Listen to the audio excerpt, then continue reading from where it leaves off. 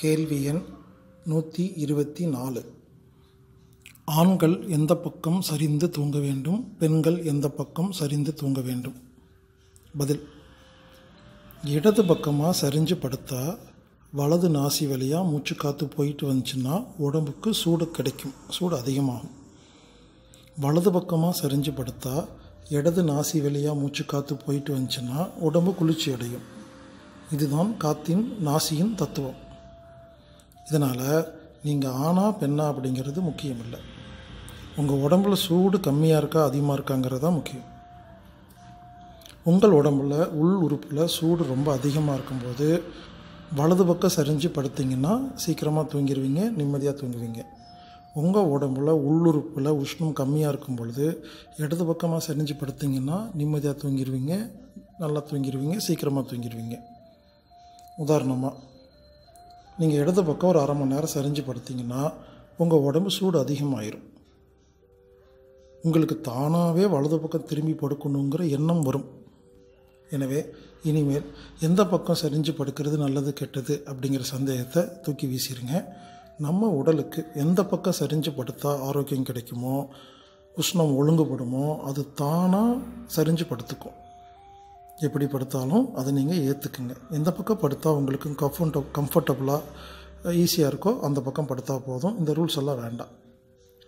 முடிஞ்ச வரைக்கும் குப்புறம் மட்டும் படுத்து தூங்கக்கூடாது அப்படி குப்புற படுக்கும்போது நுரையீரலுக்கு தேவையான காற்று கிடைக்காதனால நம்மளால் நிம்மதியாக தூங்க முடியாது. உடம்புல சக்தி குறையும்.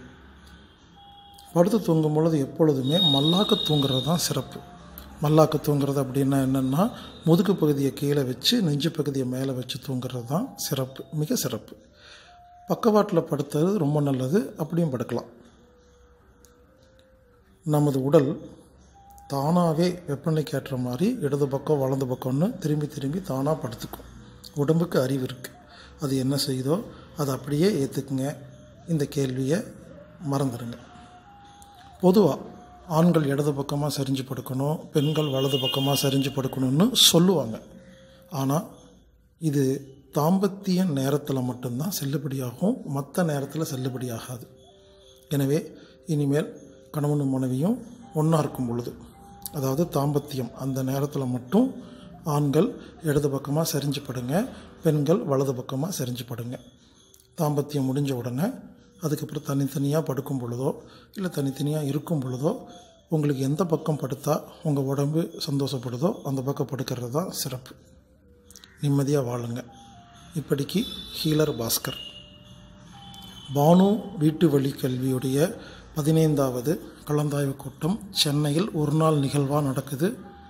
முப்பதாம் தேதி நவம்பர் மாதம் ரெண்டாயிரத்தி பத்தொம்போது சனிக்கிழமை. Eight zero one two zero two seven nine one seven அப்படிங்கிற எண்ணுக்கு தொடர்பு கொண்டு வந்து கலந்துக்குங்க. கல்வியை ஒழுங்குபடுத்தும் ஒரு தளம். வாழ்க வளமுடன்.